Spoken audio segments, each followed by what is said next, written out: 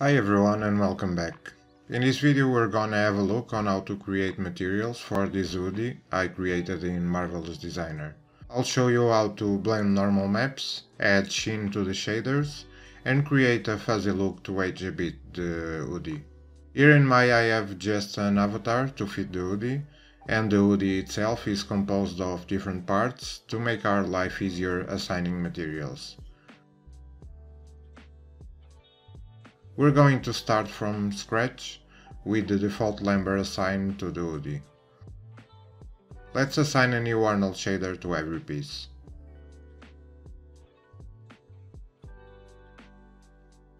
I want a very dark color, not going full black but closer. Next you want to have some high roughness value, reduce the specular weight and add some anisotropy.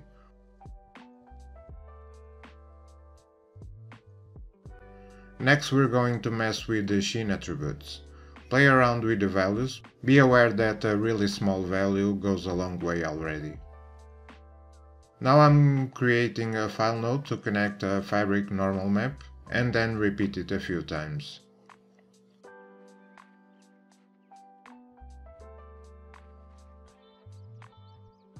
Let's create a normal map node and connect the file to the shader.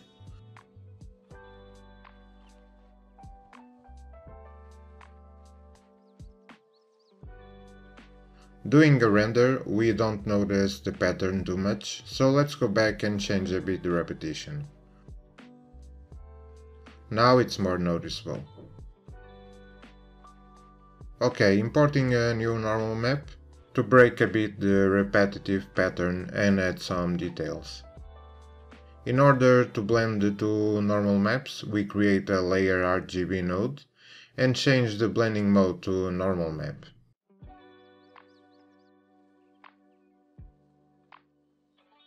And this is the result of the two normal maps. Let's dial down the second one, as it's a bit too intense. Now we're going to duplicate the current shader and assign it to the sleeve ends.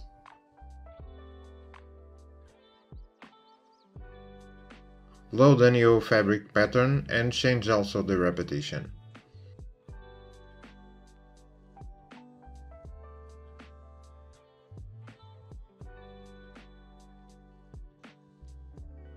Let's duplicate again the main material and assign it to the top pads. Then I just need to change the base to a brownish color. And this is the result so far. Okay, one thing we need to change is the color space for the normal maps. Since we're rendering with ACES, we should set normal maps to raw and immediately you have a more natural look. Let's just dial down the second normal map.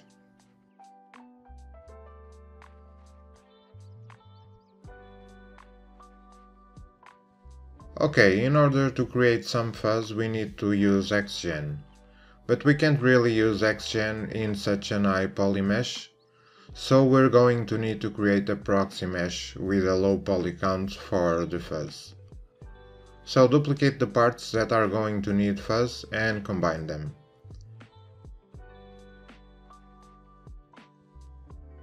Then you want to use the reduce feature and set it to a high value. Now we have a proxy mesh that can handle better the XGen creation. Let's go to Generate and create interactive groom splines. And by default it's not looking very promising, so we need to change a few things.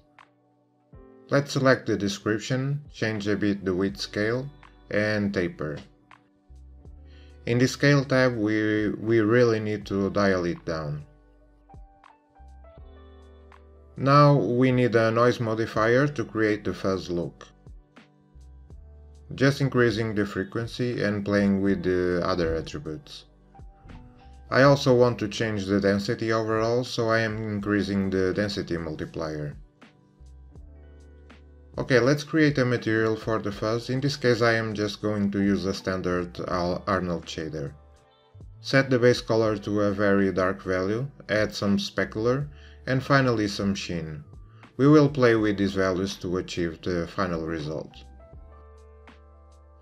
Let's hide the proxy GUI, unhide the original hoodie, and do a test render. As you can see it's a bit too intense, so let's tweak a few settings. Change the overall scale to a lower value to start with.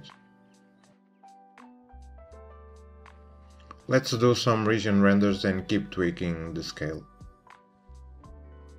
Okay, this is the result we have so far, looking better, but still we need to change a few attributes in the shader. So I ended up dialing down the sheen and specular amount for the fuzz shader. Let's do a final render. And this is our final result. If I compare with and without fuzz, you can see that we're getting some sort of aging effect and adds more detail overall. Okay, this is it, hope you learned something new and let me know if you enjoyed this video. I will see you in the next one, bye bye.